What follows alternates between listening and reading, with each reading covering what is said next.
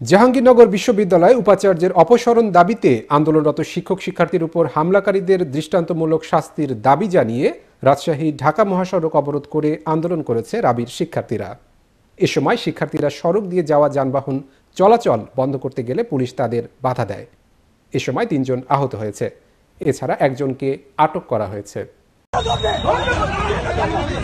মঙ্গলবার সন্ধ্যায় বিশ্ববিদ্যালয়ের মেইন গেটের সামনে এই ঘটনা ঘটে।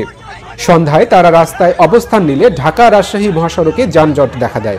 পরে পুলিশ এসে রাস্তার পাশ দিয়ে গাড়ি পারাপারের ব্যবস্থা করলে শিক্ষার্থীরা যানবাহনের উপর চড়াও হয়। আটককৃত শিক্ষার্থীর নাম আবদুল্লাহ শুভ। সে নর্থ বেঙ্গলের শিক্ষার্থী বলে জানা গেছে।